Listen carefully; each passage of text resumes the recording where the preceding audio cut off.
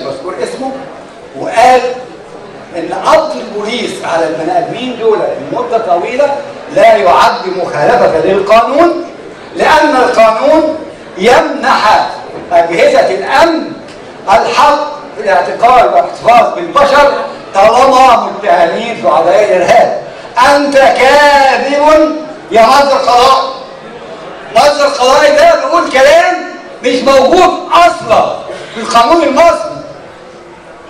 قد يكون جاهلا أيضا هذا المصدر القضائي في 3 6 2013 و7 6 2013 الغت المحكمة الدستورية حق وزير الداخلية في اعتقال المواطنين المصريين طبقا لقانون الطوارئ. وتفتيش أشخاصهم وأماكنهم. كون هو بقى المصدر القضائي يقول دول من حقهم؟ دي كانت يعني وأنا شايف للأسف الشديد إن في حالة قلق حقيقي من أعضاء حقوق الإنسان في مصر خاصة في أعقاب إصدار قانون التظاهر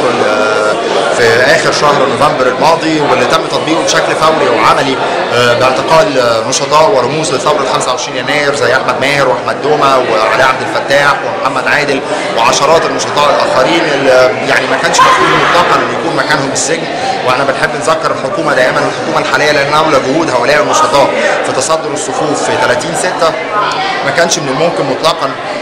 إن يحصل التغيير اللي إحنا شفناه في ذلك اليوم لأن الشباب دول مخلصين لأهدافهم ومبادئهم. هم مخلصين لمبادئ وأهداف ثورة 25 يناير اقامه دوله ديمقراطيه تطبيق مبادئ العيش والحرية والعدالة الاجتماعية والكرامة الإنسانية. وهو ده السبب اللي بيخليهم يخرجوا مرة ثانية لما يشوفوا في أي قوانين بتخالف حقوق الانسان بتصدر تحديدا فيما يتعلق التظاهر النشطاء داخل السجون في المظاهرات نفسها وأعتقد ده اللي سمعناه سمعناه جوه يعني في أشكال انتهاكات كثيرة جدا بتحدث لحقوق الإنسان إجراءات متسارعة لمحاكمة النشطاء مقابل محاكمات مطولة لا تنتهي أو تنتهي غالبا بالبراءة لضباط الشرطة اللي هم بيكونوا متهمين بقتل المتظاهرين واقتحام لمقرات منظمات حقوق الإنسان بشكل يعني همجي جدا ولم يحاسب عليه أحد. فدي كلها مظاهر بتؤكد على حالة القلق اللي موجودة عند النشطاء دول خاصة إن إحنا مقبلين على استفتاء وما كانش دي المفروض الأجواء اللي إحنا نخش فيها باستفتاء. حضرتك كلمتنا عن النشطاء